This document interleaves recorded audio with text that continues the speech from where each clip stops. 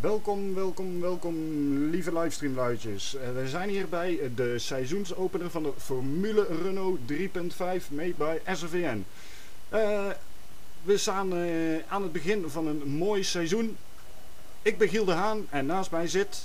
Maurice Zondag. Welkom inderdaad ook namens mij bij deze openingsrace van het Formule Renault 3.5 kampioenschap. Op het prachtige circuit in Florida van Sebring. Waar natuurlijk de beroemde 12 uren van Sebring gereden worden. Maar waar we vandaag dus met de open auto's gaan rijden in het uh, Open kampioenschap. Of tenminste de Open Wheelers kampioenschap van SRVN. En uh, het belooft toch wel weer een, een mooie, mooie seizoen te gaan worden, Giel. Ja, absoluut. We hebben natuurlijk een paar grote namen ertussen rijden die allemaal kans maken op de eindoverwinning. Ik noem er even een paar. Jan Wim Ensing, Robin de Jong, René Hoogterp. Laten we Bram Kuipers ook niet uitvlakken. Maar ook in de dok Mark de Vries. Die heeft bewezen om bij de Tourwagen zeer snel te zijn. Ook nog zeker een kans maakt. Ja, zeker. Ik denk dat we absoluut een aantal goede namen voor in het veld uh, kunnen vinden om daar de, de winstpunten uh, mee te pakken. Maar ook de podia zijn we dat gaat uh, denk ik nog wel verrassend af en toe. Het zijn natuurlijk ook auto's die wel gevoelig zijn voor wat tikwerk hier en daar. Dus het kan nog zomaar zijn dat daar wel dingen gaan gebeuren tijdens de race. Waardoor er verrassende uitslagen kunnen komen. En dit circuit heeft één bepaald punt zelf in zich zitten. Wat nogal een, een spectaculaire ontwikkeling kan hebben als je daar de, de bocht verkeerd doorheen komt, Giel. ja, dan bedoel je natuurlijk bocht 1. Inderdaad, voor ons doorgewinterde simrace fanaten die wellicht de 6 uur van Sebring nog kunnen herinneren met de GT1-serie. Uh, heeft uh, de, de bocht de, sindsdien de naam de Mahu Corner gekregen toen uh, Rutger Mahu zijn auto daar in een salto over de curbstones heen gooide. Dus het is vooral aan de heren coureurs om die curbstone maar een beetje rechts te laten liggen dan, vooral. ja, inderdaad, want als je die bocht goed insnijdt, en dan is hij gewoon vol gas. Maar je moet het vertrouwen hebben in die auto dat hij op zijn lijn blijft, dat je niet te wijd gaat. En ja, ik, ik persoonlijk hou van die bocht. Het is zo'n geweldige bocht. Absoluut. Het is uh, een, een, bocht waar je het verschil kan maken meteen al bij de ingaan van de eerste. Ja, als je net je ronde begint, als je hem daar al uh, ja, weggeeft, dan uh, is eigenlijk de rest van de ronde ook zonde van de tijd geworden. Inderdaad. Goed, we, stappen eventjes aan boord bij Jeroen Brink van het Red Bull Racing Team. Robert Bults is daar ook onderdeel van. terwijl ik het zeg, gaat hij natuurlijk eventjes door het gras. Maar goed, het ja. is een hele lastige auto. We, we, kennen hier ook geen bandenwarmers, dus je begint met ijskoude banden en die zul je dan in je, op, in je opwarmrondje, want laten we niet vergeten, je mag hier maar één snelle ronde neerzetten in de kwalificatie. Precies, want de kwalificatie zal 10 minuten duren. We zijn ondertussen al uh, uh, ja, goede drie minuten bijna aan, aan de gang. De eerste coureurs uh, zetten hun beginronde van de snelste ronde in. Zoals inderdaad Jeroen Brink daar de allereerste van aan boord meekijken. Ehm, ja, het is inderdaad een lastig circuit. Het is een lastige auto op dit circuit, want de curbstones wil je eigenlijk niet aanraken. Ik inderdaad wat rem remproblemen af en toe. Ja, dat kan natuurlijk zijn. De simracer heeft nogal uh, de neiging om vol blokkerend een, een, bocht aan te rennen. Ja, het, het, is natuurlijk ook heel erg lastig. Want voor de rest mis je wel het gevoel met de echte auto. Maar... Inderdaad, ja. Ja, dichterbij kan de gewone man niet staan. Laten we het daar wel op houden. Dat is absoluut, uh, absoluut waar. En zeker om in dit soort auto's te kunnen rijden. Op dit soort, op dit soort circuits uh, niet te vergeten. Het, aangloeien van de remmen is hij ondertussen al aardig in de ronde onderweg. De eerste tijd is overigens neergezet door Nico Kuitums op een 1.46.070. Oh, dan verwacht ik dat we toch nog wel een stukje sneller uh, zullen gaan. Dat lijkt mij inderdaad ook.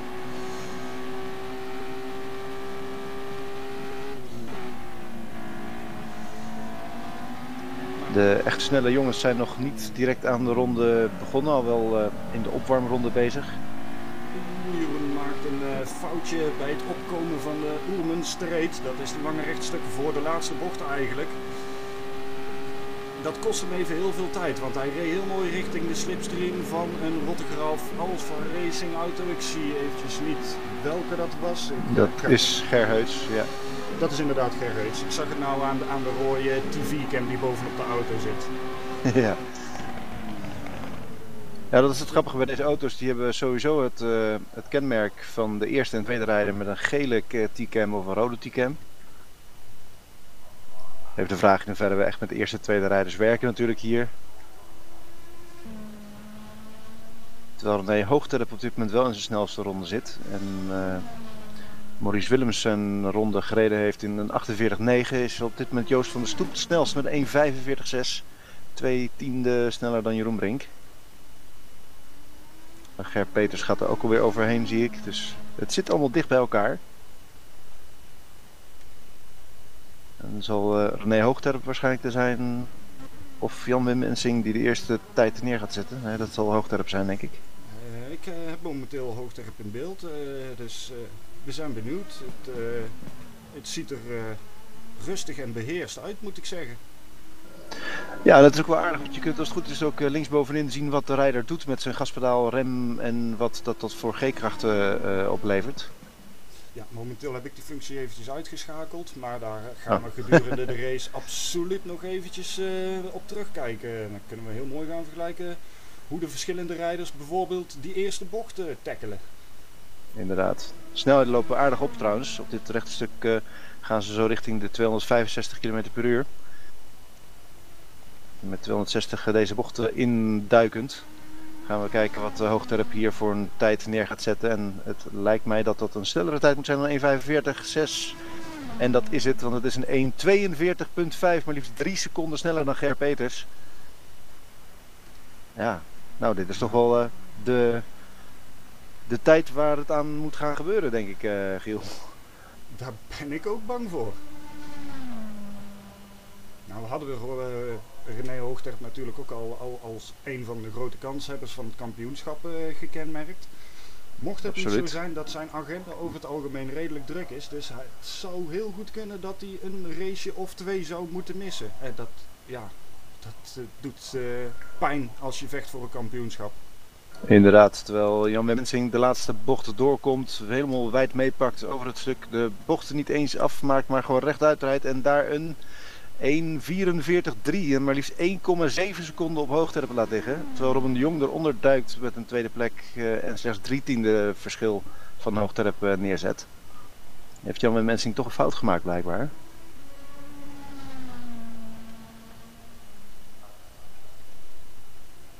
Kijken nog eventjes, uh, eventjes mee met Bram Belen. We zullen eens ja, eventjes, die heeft net zijn tijd neergezet. Dus we zijn mooi op tijd. Uh, een 1.43.5, ook niet snel genoeg, bijna een seconde. Dus kijken of uh, Bram Kuipers of Mark, Mark de Vries uh, nog iets kunnen betekenen daarin. Maar het lijkt vrij zeker dat hier een poltijd van 1.42.5 wel de tijd gaat worden. We stappen even aan boord. Ik zou Bram Kuipers even meepakken, die leidt nu de laatste bocht in. Ja, ik, we zijn aan boord. Ik, uh, heb toch eventjes het uh, G-krachtenmodelletje erbij gepakt. Kijk. Het is hem niet geworden voor... Uh... Ai. Voor... Ja, snijdt oh, de eerste bocht iets te sterk ja. aan en dan krijg je meteen dit hè. Ja. Dat is Grote precies klapper. wat ik bedoelde. Je moet het vertrouwen hebben in de auto. Nou, zal hij toch wel proberen zijn ronde fatsoenlijk af te maken, denk ik. Want elk plaatsje ja. wat hij niet helemaal achteraan staat, is natuurlijk mooi meegenomen. Inderdaad, uh, Robbie Bouchon die duikt tussen de tijd van Jan Mensing en Ger Peters in. Hij laat toch ook nog wel 2,1 seconden liggen. Dat is toch wel een grote verschil hoor, wat dat er gaat uh, door het veld heen. Zagen we bij de eerste race van de Tourwagens dat de top 10, uh, top 15 binnen een seconde zit. Nou, dat gaan we hier niet redden. Daar ben ik ook bang voor. Het is natuurlijk ook wel een hele lastige auto. Hè? Want we hebben het hier over een Renault 3.5 liter met maar liefst 480 pk. En ja, dat, red ik net niet met mijn Renault, nee. nee, nee, dat, uh, daar kan ik me iets bij voorstellen. Ze rijden over op, uh, de Michelin-band. Ja, inderdaad.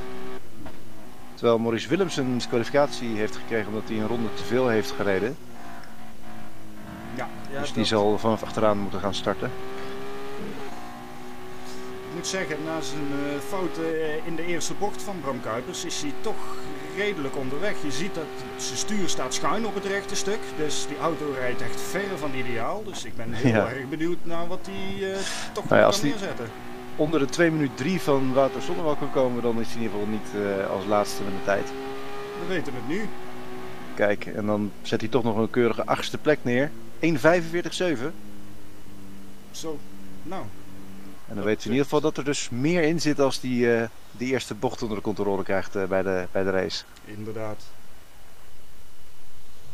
Maar dat is natuurlijk ook het mooie van de kwalificatie. Je mag daar helemaal op de grens gaan zitten. En eigenlijk eroverheen, en baat het niet, ja dan schaadt het niet. Want als je, laten we eerlijk wezen, als je de snelheid hebt, dan is het hier op Sebring best leuk inhalen hoor. Absoluut. Het is, uh, zeker een, uh, een heel breed circuit. Op heel veel plekken zit daar genoeg ruimte. En het lange rechte stuk, het Ulmen Straight zoals je zei, dat, dat begint vanaf de Le Mans curve tot aan de Sunset Band. Waar je ook daadwerkelijk de, de zonsondergang tegemoet rijdt. Ehm, dat is lang genoeg om daar wel een slipstreamje mee te kunnen pakken. Ja, absoluut. maar dan hebben we ook nog bij bocht, het aanremmen van bocht 3 is eigenlijk ook nog wel, als je daar niet de deur dicht houdt, dan kun je hem er daartussen zetten. Absoluut, absoluut. We nemen even de uitslag door. Op de eerste plek dus René Hoogterp, dan Robin de Jong, Bram Belen op een derde plek, dan Jan Wim Ensing op plek 4, Robin Bouchot op plek 5, Ger Peters op de zesde plek, dan Joost van der Stoep op een zevende plaats, Bram Kuipers op nummer 8, dan Jeroen Brink op nummer 9 en Nico Kuitens sluit het op 10 af. Met dan op de elfde plek Robert Wults, dan twaalfde is Mark de Vries, Twankapelle zit hem op de 13e tijd neer voor Ger Heuts op de 14e plek. Met daarachter Xiomar Elisabeth, onze Belgische vriend, op nummer 15. En Wouter Zonnewal als laatste in het rijtje met de tijd op de 16e plek. En dan is het uiteindelijk Maurice Willems die uh, de laatste plek van de grid mag innemen vanwege zijn disqualificatie van de uh, uh, kwalificatie. de disqualificatie van de kwalificatie, ja. ja. Ja, Dat is een mooi gezegd. ja, inderdaad. Ehm, de race die gaat beginnen nu zometeen. Dat is de sprintrace, hè Giel? Ja, inderdaad.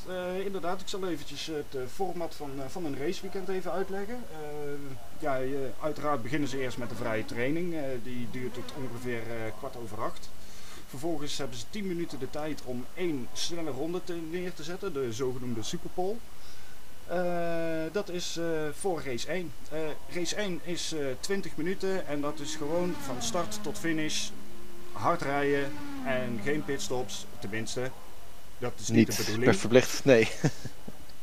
dat daarentegen, voor de tweede race, daar moet je wel een pitstop in maken. Die duurt dan ook 40 minuten. En ja, het is een, een, een verplichte bandenstop moet je, moet je maken, want bijtanken dat kan niet in deze auto's. Nee. Ja. En, uh, nou, dus, uh, en maakt het dan nog iets uh, uit wanneer de pitstop gemaakt wordt of mag je dat dan helemaal zelf bepalen? Nee, dat is in principe helemaal vrij. Oké, okay. en is er ook al iets bekend over hoe de banden het eigenlijk doen hier op het circuit? qua slijtage, zeg maar? Ik durf het niet te zeggen. Ik heb eventjes een paar rondjes meegereden. Uh, puur om uh, eventjes aan te voelen wat het doet, waar je op moet letten. Maar ja, de, niet genoeg om uiteindelijk eh, te weten wat de banden nou precies doen. Nee, het is natuurlijk wel belangrijk hoe het circuit er zelf bij ligt qua ja, banden, grip op de baan zelf. Nou, we hebben ondertussen de vrije training en de kwalificatie gehad. Dus uh, er ligt genoeg rubber op de baan op dit moment om de mannen genoeg grip mee te geven om straks de start ja, netjes weg te kunnen komen. Maar het is inderdaad belangrijk. Het opwarmen van de banden in die opwarmronde zal zeker cruciaal zijn om die eerste ronden goed door te kunnen komen, eh, denk ik. Ja, absoluut. Uh, maar het, het, lastige is ook dat je ook je remmen erbij wil doen. Uh, het moet natuurlijk allemaal mooi op temperatuur zijn, zodat je meteen vol in de aanval in die, naar die eerste bocht kan. Precies. Het aardige van deze baan, deze bijna 6 kilometer lange baan, is dat die eerste bocht niet direct een bocht is waar heel veel problemen hoeven te ontstaan. Nee, want hij is heel wijd. Uh, ja. je, je, kunt de binnenkant kiezen, maar je kunt ook gewoon kiezen om, om aan de buitenkant te blijven. En ja, daardoor Inderdaad. iets meer meters te moeten maken, maar wel meer snelheid mee te kunnen nemen. Inderdaad. Ik denk dat de, de eerste problemen die we kunnen verwachten bij bocht 3 zullen gaan, uh, zich gaan aanmeten. Dat is natuurlijk een redelijk uh, smal stuk daar waar de linkerbocht uh, ja, de bottleneck zal zijn voor het, voor het veld. Terwijl we ook op dit moment begonnen zijn met de startprocedure voor de heren op de baan. Mogen ze op dit moment naar de startgrid gaan. Daar hebben ze nog 4 minuten, 4 seconden de tijd voor. En alle heren staan inmiddels al klaar en beginnen op dit moment aan de opwarmronde hier in het eerste sprintrace van het Formule Renault 3.5 kampioenschap bij SRVN in 2013.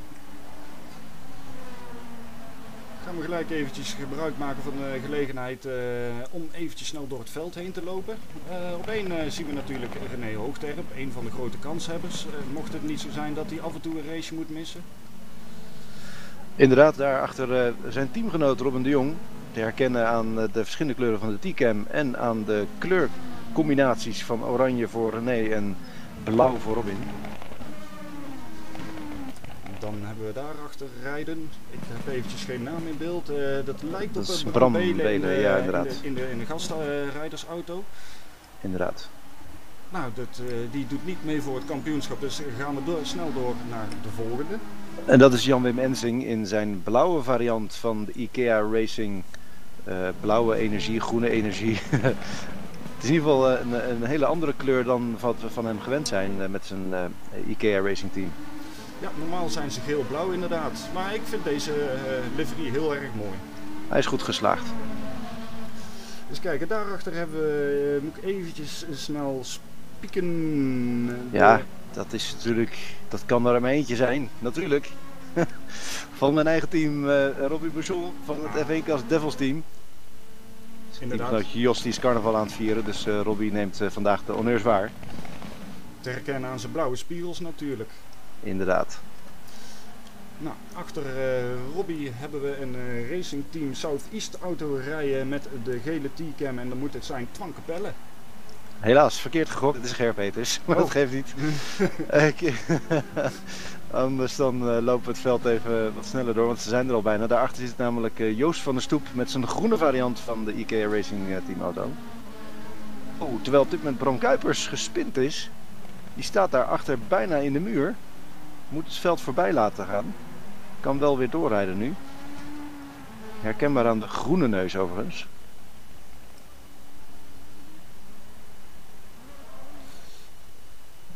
Het veld uh, ondertussen rollend richting de startgrid. Terwijl even kijken op de achtergrond of Bram daar ook goed doorheen komt. Ja, die komt nou het Inderdaad. stuk oprijden. Die slinkert nog een beetje voor wat extra warmte. En die zal ja, voorzichtig er tussendoor moeten gaan manoeuvreren. Alsof de banden nog niet genoeg warm eh, geworden waren net. Maar ja, dat lijkt toch allemaal te gaan.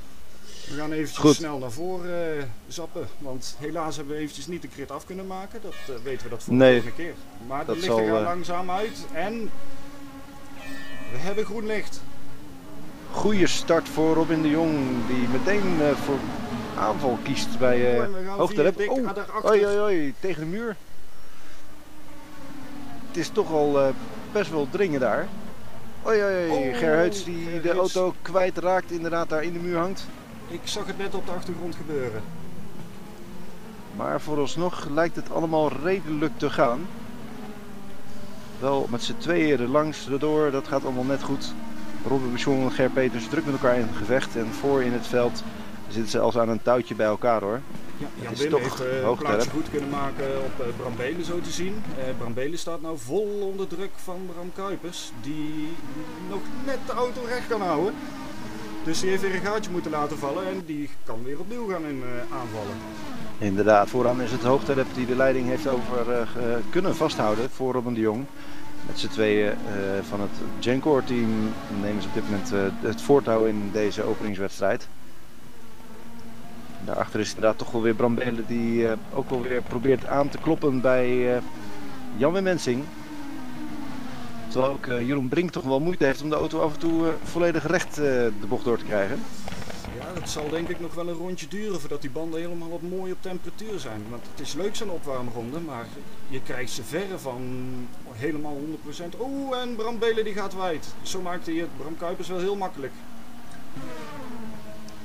Die ging wijd en uh, Bram Belen ging even over het gras, maar die kon Ja. maar weer mooi snel terug op het eh, grijze gedeelte van de baan eh, sturen. Dus Verliest dan wel snelheid inderdaad bij het opkomen van het rechte stuk daar. En je ziet dat Jeroen Brink meteen aansluiting eh, vindt bij Belen. En zal moeten kijken of hij eh, snel genoeg kan zijn in een gewone normale ronde om hem inderdaad eh, onder druk te kunnen zetten. Daarachter trouwens ook wel eh, een aardig eh, gevecht eh, de eerste ronde geweest tussen Ger Peters en Robbie Bouchon. Oh, en Bouchon die daar vol over de Maui-curve heen gaat. En zijn auto stuiterend over het hele veld. Door de vangrail, over de vangrail, tegen de vangrail aanklapt. We hebben hem eindelijk in beeld. Oh, dan moet hij opletten met terugkomen op de baan. Oh, Ja. ja, dat gaat goed. Nou, het De auto's kunnen een stootje hebben. want Ik wou net zeggen, het verbaast me dat hij zijn vleugels nog heeft. Normaal gesproken zou je zo'n auto 12 keer afschrijven in, in zo'n klap. Maar niet bij simracen, daar kan dat gewoon. Je verliest een plek of twee. maar eh Bouchon die kan toch zijn weg weer vervolgen. Hopelijk dat hij niet al te duizelig geworden is eh, bij die eh, klapper.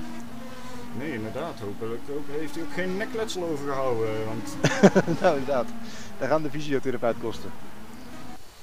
we gaan toch nog eens eventjes wat daarachter kijken. Want daar is een flink gevecht aan de gang, zie ik. Eh. Inderdaad. Daar gaat de Demolition GP eh, van Xiomar ook weer te wijd. Verremt zich slecht Ja. en die schiet gewoon rechtdoor. Inderdaad, verliest daarmee een kostbaar plekje. En zal de strijd met Wouter Zonnewal eh, volledig moeten staken. Daarvoor ook weer een hoop rook. Het veld raakt zich eh, redelijk eh, eh, wat uit te waaieren nu. We zagen natuurlijk in de kwalificatie dat de- de tijden nogal kunnen verschillen. Achter in het veld zijn ze zomaar 3, 4, 5 seconden langzamer dan de kop van het veld.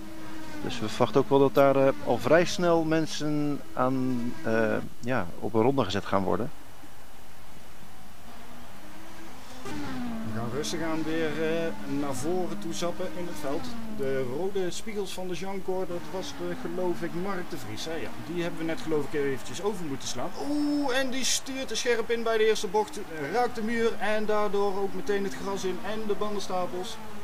Ja, Maar ook hij kan weer doorrijden. ja. Ja, is toch een beetje zoekend naar wat de auto nog kan en doet. Eh, staat onder druk van Twankapelle, die raken elkaar ook. En Bochon moet vol in de remmen.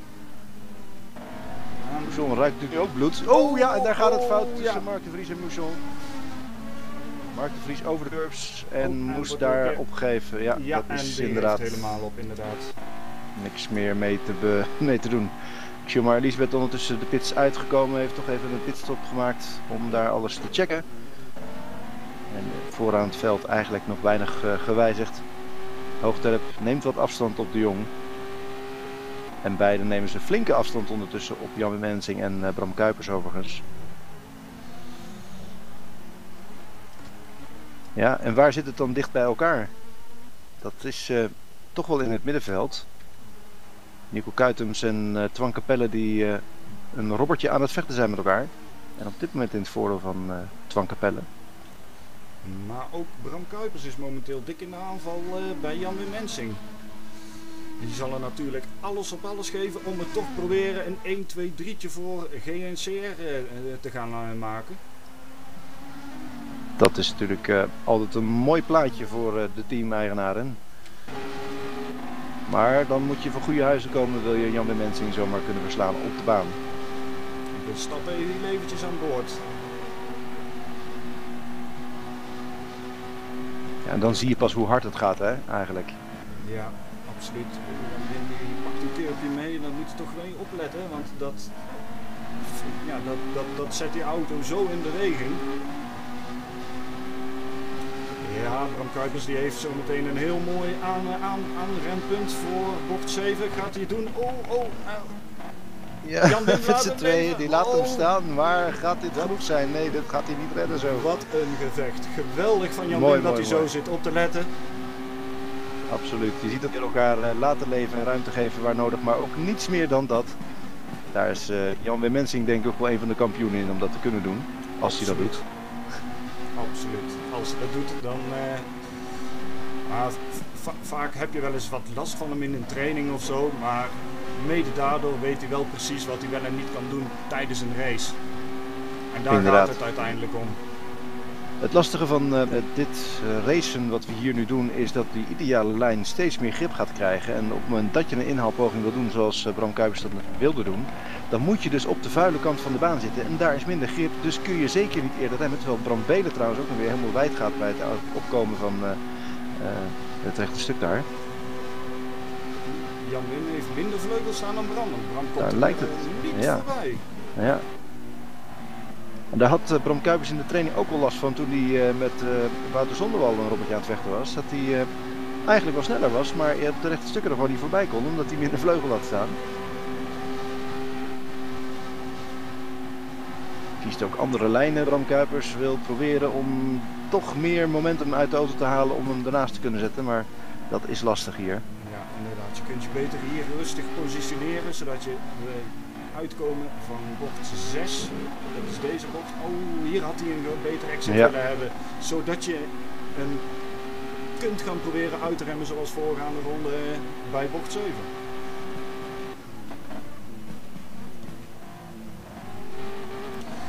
Goed, het is natuurlijk een sprintrace, dus het is maar een kort raceje van 20 minuten. Ik weet eventjes niet hoe lang we nou al onderweg zijn. Ehm, we zijn goede 10 minuten onderweg, dus dat eh, zijn we bijna op de helft, of ruim op de helft zelfs. dan eh, dan eh, moet Bram Kuipers gewoon eventjes geduld hebben, want zo te zien is hij in de basis wel iets sneller dan Jan Wim. Dus wat we moeten doen is gewoon kort erachter blijven, druk opvoeren en hopen dat Jan Wim een foutje maakt. Inderdaad, de druk opvoeren en de ander wellicht dwingen in een foutje. Om te moeten verdedigen. Ik zie trouwens dat we 8 minuten onderweg zijn, eh, precies. Dus we hebben nog een goede 12 minuten te gaan. Kijk, nou heeft Bram Kuipers weer een beetje een betere slipstream. Jan Wim kiest de verdedigende lijn. Maar het is niet genoeg. Nee, hij kan hem bijhouden, maar meer dan dat ook niet eigenlijk. Oeh, Oh. daar maakt hij wel een foutje, Dit, lijkt dit het. is iets meer dan een foutje. Ik eh, ben hem even helemaal kwijt. Oh, daar is Ah, hij. daar is Ja. hij weer. Eh, dit eh, hoop ik voor Bram dat dit eh, niet doorzet, want dan heeft hij gewoon eh, connectieproblemen. Daar leek het wel even inderdaad op. Pakt daar wel die curbs dan ook bijna helemaal mee.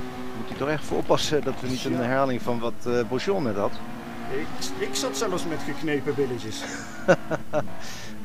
Ik dacht al, wat zit je daar? Sorry. Als ik dit zo zie, daar kan ik zo goed in meeleven. Dit zijn, dit zijn de gevechten die je wilt zien. Ja, prachtig ook Bram eh, Delen die eh, ondertussen de aansluiting eh, weet te vinden. Oeh, wat de een foutjes. daar laat zeggen. Ongelooflijk hè? Je denkt dat gaat helemaal niet. En dat kan dan toch net wel. Het is ook wel aan dat eh Belen wel eh, snel onderweg is. En dat Enzing en Kuipers toch nog wel eh, last hebben qua tijd eh, rijden met elkaar bezig zijn. doen. Ja, Belen alweer in de spiegeltjes van eh Bram Kuipers te zien is. Ja, die heeft zich aardig weten te herstellen van die paar uitjagjes die hij eh, gedaan heeft. Het gat daar naar achteren toe is eh, vrij groot. Jeroen Brink rijdt redelijk alleen. Ger Peters heeft wel Joost van de Stoep achter zich aan, maar niet echt in een bedreiging. En hetzelfde geldt ook voor Robert Wils daarachter. Twankapelle en dan zien we nog wel Wouter Zonderwal en Nico Kuitens met elkaar soort van in gevecht. Ehm Kuitens die trouwens heel even langs de baan gaat en hier zijn plek inderdaad verliest aan eh Wouter Zonderwal. Dat is toch altijd jammer dat je dat dan zo kwijtgooit voor jezelf. Ja. Oeh, Jan Wim Engsen gaat een beetje wijd. Bram Kuipers kan de krappe lijn aanhouden en die heeft nou eindelijk Ja. de mogelijkheid om hem te pakken. Maar hij zit aan de goede kant. Moeten Ja. ze oppassen voor elkaar. Wie stuurt als eerste in? Dat is Jan Wim Wensing. Die houdt hem er toch voor. Bram Kuipers die kiest een iets latere apex, waardoor hij dus die snelheid mee kan nemen. Maar het is gewoon niet genoeg op dit hele kleine stukje. Nee. Dan begint het spelletje gewoon weer van vooraf aan. Ja, en weet Jan Wim Wensing dus nu precies wat hij wel of niet kan doen. En hoe hij dat dan weer kan herstellen. Inderdaad, duidelijk verdedigende lijnen van Ensing. En dan moet hij nu op mee oppassen ook dat hij niet te weinig grip heeft. Kijk, ja, dat bedoel ik moet je- Poeh. Niet, niet helemaal van netjes van Jan Wim hoor, want die, verwisselt ineens van lijn in de remzone. Ja. En, en Bram Kuipers die vangt dat heel goed op, maar Dat had eh, in tranen kunnen eindigen inderdaad. Maar het volblokkeren van de wielen voor Kuipers heeft daarin eh, zijn werk gedaan. Maar het is wel een mooie strijd om te zien dit. absoluut. Prachtig hoe die remmen helemaal rood opgloeien bij het aanremmen. De remschijven dan vooral. Ja. Goed, we zullen weer eens eventjes terug naar de kop van het veld gaan, waar René Hoogterp, ja, denk gewoon de race aan het controleren is. Absoluut. Hij eh, heeft een eh, goede 2,5 seconden op Robin de Jong. En daar eh, een goede 10 seconden achter rijdt Jan de Mensing met Bram Kuipers en Bram Belen in hun nek. En zien we inderdaad dat de mensen achterin het veld, Maurice Willems op dit moment de hekkensluiter, al een goede anderhalve minuut, nou, bijna een anderhalve minuut achter ligt. Dus dat zou zomaar kunnen zijn dat ze met inderdaad eh, nog wel elkaar tegen gaan komen. Dat zou zomaar kunnen, inderdaad. Qua rondetijden je rijdt op dit moment hoogterp een 1.42 zo'n beetje. 42.9, 43.2. Dat zijn zeer mooie tijden.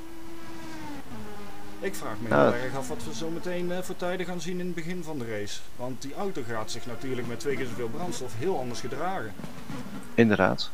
Dus wie, wie, wie komt er dan naar boven? Wie heeft zijn auto eigenlijk meer afgesteld voor de grote race, waar eigenlijk toch de meeste knikkers te verdelen zijn? Nou ja, waar eh, in ieder geval eh, de grootste stamina getest wordt. Het uithoudingsvermogen getest wordt. Want 40 minuten lang met deze auto's op deze baan rijden is eh, geen sinecure. Nee. Nee, ik wilde het net ook al zeggen over de laatste bocht. Het zijn natuurlijk maar betonnen platen, letterlijk, waar ze overheen rijden. Want het, laten we eerlijk wezen, het is een oud vliegveld. Oeh, Inderdaad. Moest, eh, kwam daar een beetje overstuur eh uit de bocht. Je weet hem heel mooi op te vangen.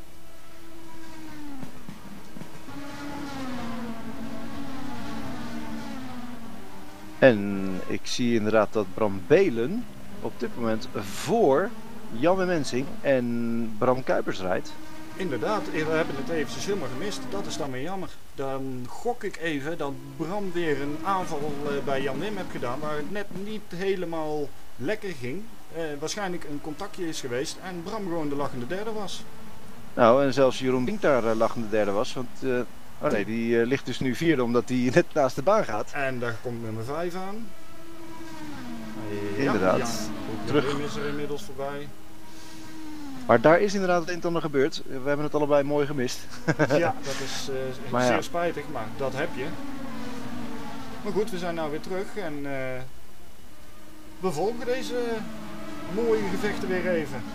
Want het zit heel dicht bij elkaar. In de aanval. Nee, die wacht toch eventjes tot na bocht 1. Oeh, Bram Kuipers die...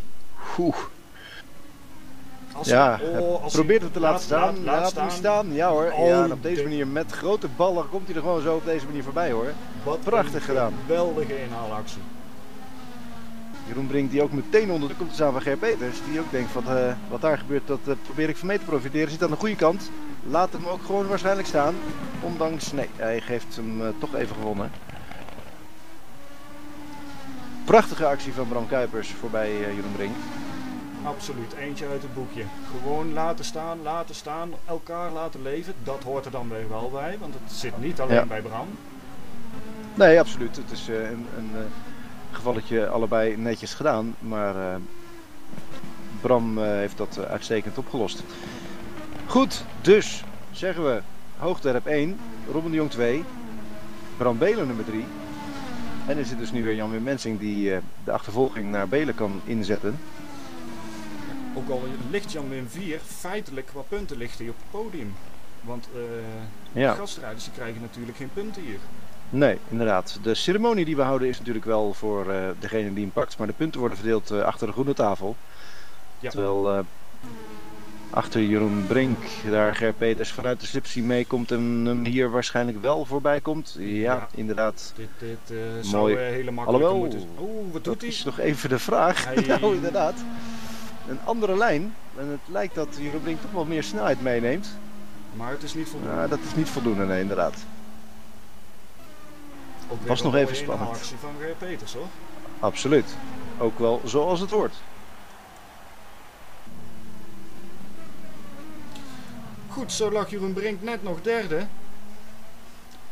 En nou ligt hij volgens mij zesde. Ja, zo hard kan het gaan. Dan begin ik me eigenlijk af te vragen, eh, heeft hij voldoende brandstof? Bijvoorbeeld, Eh, is hij, heeft hij, is hij erachter gekomen van, hé, hey, als ik zo door blijf stampen, dan haal ik de finish niet. Moet ik gaan liften? Eh, heeft hij ergens een probleem gehad? Nou, het lijkt eh, bijna meer de druk te zijn van de rijders om hem heen en eh, het, concentratieverlies van dat moment. Want het ging zo snel achter elkaar. En Ja. wellicht heeft hij kunnen profiteren van het momentum dat eh Bram Kuipers, Jan Mensing en Bram Belen met elkaar in de clinch lagen. Want ja, met alle respect, Jeroen Brink zat nog niet in het groepje erbij, zeg maar. En is overigens zevende op dit Oh. moment. Ja, ik doe het zonder tijden te bellen, dus ik, ik heb af en toe een beetje hulp van je nodig inderdaad. Daar zijn we voor elkaar. Ehm, ja, het veld is wel een beetje uit elkaar getrokken op deze manier. Terwijl Enzing daar... Oeh, Enzing en Kuipers. Dat scheelt nog maar helemaal niks. Want Enzing die zat even naast de baan. Bij het opkomen van het rechte stuk. En probeerde daar eh, Kuipers de muur in eh, te blokken. Probeert hem hier er al naast te zetten. Dat kan nooit goed gaan dit. Die raken elkaar ook. Bij het doorgaan van de laatste bocht. Maar ze houden stand. En Kuipers zal hier not pleased zijn over de manier waarop eh, Enzing hem probeert voorbij te komen. Ik heb het zelf eventjes gemist, maar ja, eigenlijk bij het ingaan van de, van de laatste bocht zat ik erbij. Dus ik zag inderdaad dat het echt maar net goed ging. Maar goed, je, je, je strijdt natuurlijk met het mes tussen je tanden. En je- zoals ik net al zei, Bram Kuipers die zal er gebrand op zijn om toch nog die derde plaats eh, proberen te pakken van Bram Belen. Zodat heel eh, GNCR op het podium staat. Inderdaad, daar eh, is hij denk ik de hele race mee bezig om die derde plek van, om terug te pakken. Of te pakken. En vooralsnog, eh ja, alle goede dingen die hij doet, heeft het nog niet in kunnen resulteren dat hij dat heeft voor, voor elkaar heeft gekregen.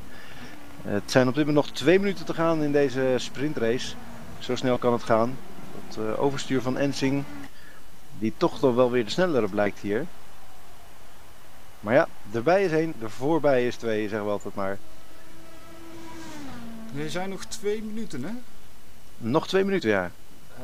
En hoeveel is het exact? Want eh, momenteel gaat eh, meneer Hoogter op de laatste bocht in. Dus het zou zomaar zijn dat we nou de laatste ronde ingaan. Dat zou dan heel kunnen. Ik heb de precieze tijd heb ik hier niet in seconden, alleen maar in minuten. Ja, het is nu nog één minuut, dus dan is dit de laatste ronde inderdaad voor Hoogterp. En denk ik dat het slim is om bij Hoogterp in de buurt te blijven met de camera. Ondertussen is er wel een groot gat gevallen naar Robin de Jong, moet ik zeggen. Eh, ik ga bijna denken dat Robin ergens een foutje heeft gemaakt. Want hij is gewoon niet meer in beeld. Het is eh, 8,7 seconden geworden in eh, de afgelopen ronden inderdaad. En zelfs 23 seconden naar het groepje daarachter met Bram Belen, Bram Kuipers en Jan Mensing. Ja, Hoogterp heeft natuurlijk gewoon zijn eigen race kunnen rijden, zijn eigen tempo kunnen rijden. Gewoon zijn ding kunnen doen. Hij was al gewoon veel sneller dan wie dan ook. En ja, als je dat in datzelfde tempo gestaag door kan doen, 20 minuten lang, dan bouw je in één keer zomaar 8 seconden op, ja. Hoogterp in het eh, bochtige gedeelte achter op het circuit. Ja, en zelfs hier geen plofje rook hè, aan, eh, bij het aanremmen, helemaal niks. Keurig onder controle. Terwijl de officiële racetijd op zit. Dus dit zijn de laatste meters van deze kant van de baan voor Hoogterp.